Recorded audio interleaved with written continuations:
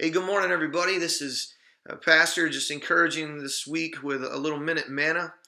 Um, just encouraging your heart to follow Christ. And this morning I was reading from Hebrews chapter 4. It tells us to be diligent lest anyone should fall short of the rest that God has intended for us.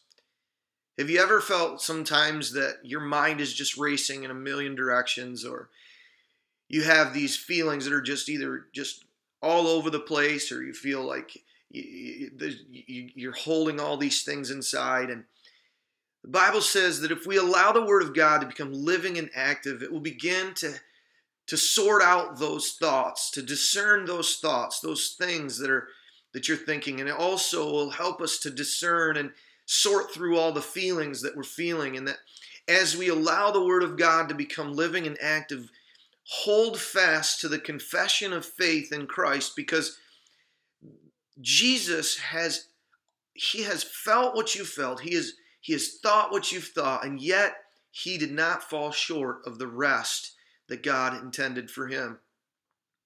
If we hold fast to his confession, we will be able to approach the throne of grace with boldness, obtaining the mercy that we need and the grace that we need to think the right thoughts and to feel the right feelings.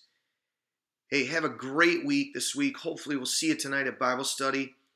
Hold fast to the confession of faith in Christ and come boldly before his throne of grace today. Amen. God bless.